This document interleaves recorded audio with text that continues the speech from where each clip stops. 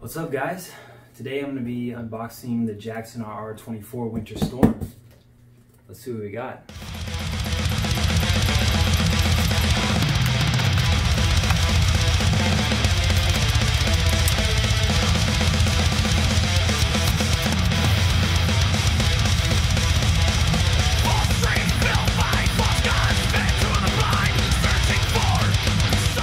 Alright, well here she is. Is the Winter Storm.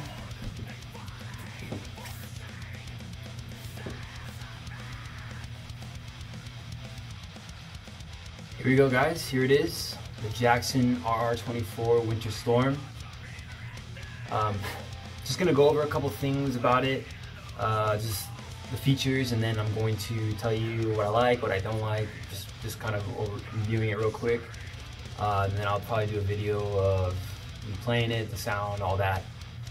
Um, so this this guitar came out this year, um, 2020. I saw it on the NAMM videos, and it kind of caught my attention because it's you know a little something different. More of a, I like more white guitars, um, even though this is a winter storm finish.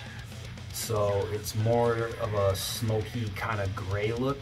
Um, it may look in the light that it's white, um, but in the dark and a little in more darker areas, it's actually almost like a like I said like a silver smoky kind of grayish look.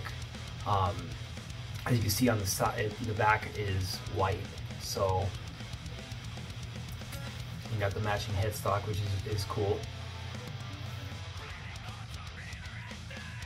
So the body is a mahogany body. Um, it's actually pretty light. It feels really good and, and it's very well balanced.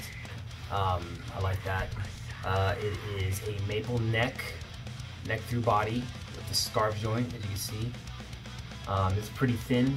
It's just like, uh, actually it plays, it's more like all the other um, Jackson uh, Pro Series models, like some of the uh, soloists. It's got like one of those, that same feeling of neck. It is a 25 and a half inch scale, 24 frets, uh, ebony fretboard, the Jackson 12 to 16 inch compound radius that they always do. Uh, I really like that. The Floyd on it is a 2000 series. Uh, it's not bad. I uh, uh, stays in tune so far, really good. And then we got the Seymour Duncan distortions uh, in the for the pickups, SN and the TB for the neck. Um, so my first initial thoughts, again, when I got it, when I ordered it online, I it looked in a way like that it was white. It had a really white look with a little bit of the um, quilted part that you can see. When I received it and I opened it up, I was a little bit surprised that it wasn't as white as I thought it was going to be. So it kind of threw me off a little bit. Um, it's not bad. I don't mind it. I just, it's just the fact that it, the picture's a little deceiving, basically. Um, and, and, it might be also different finish. I know every top might be a little different in finish. Um, so I could tell up close that this one is completely different than the one in the picture that they were advertising before they shipped them out. This is a little bit more of the, the quilt part. You can see is a little bit more refined lines where the other one's more like a quilt in the picture. that makes sense.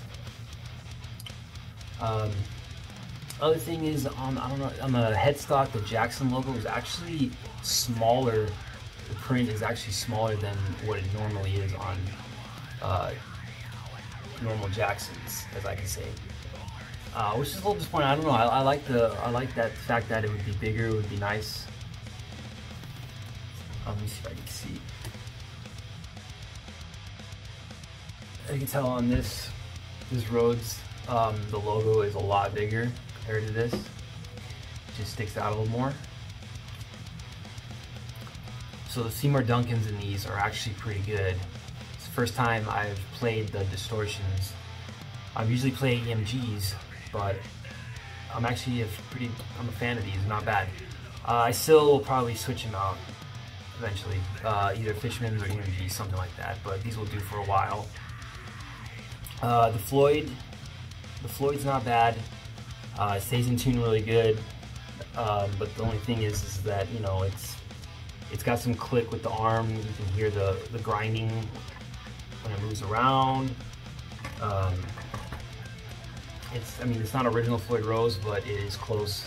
So the quality control on this is, it's, it's okay. There's um, on the top part right here where it starts to uh, get painted. Um, it's a little sloppy, you can tell, and some of the uh, fret cuts right here, you can see, I don't know if you can see it, it's a little bit defined.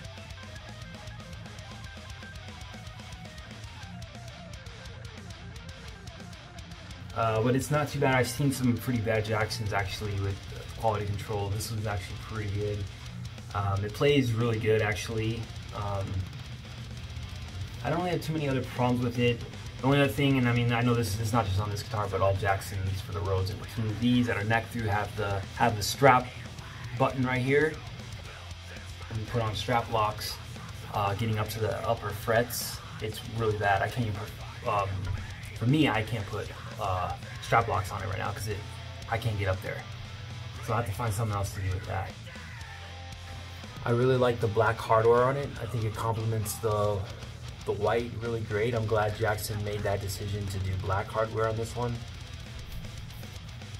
My favorite part of the guitar is definitely the reverse headstock. It's just, it's so metal looking.